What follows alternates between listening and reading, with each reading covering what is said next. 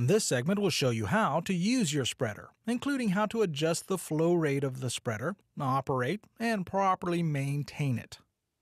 Your broadcast spreader has an adjustable flow rate to control the rate of output. To adjust the flow rate setting, first loosen the wing nut that fastens the control cable assembly to the handle.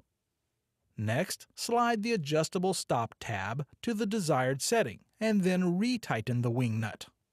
To use the spreader, check the material package and the spreader settings sheet included with your spreader for the proper spreader setting and the application rate for your material.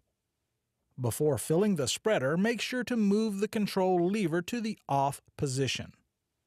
Then move the spreader onto a flat surface and fill the hopper with the material.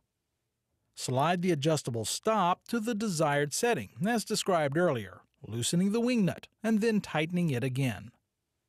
Now you can start the spreader in motion slowly, then move the control lever forward against the adjustable stop to begin spreading the material. Please note, the maximum towing speed when using a tractor is 3 miles per hour. Take care to always place the control lever in the off position while filling the spreader, or when stopping or turning, to prevent the release of excess fertilizer or other material. Now, here's some application tips. This unit will cover a 4 to 8 foot wide area depending on the material used and the towing speed. To avoid missing areas or striping, make each pass about 5 feet from the previous one, so some overlapping of the spread pattern does occur.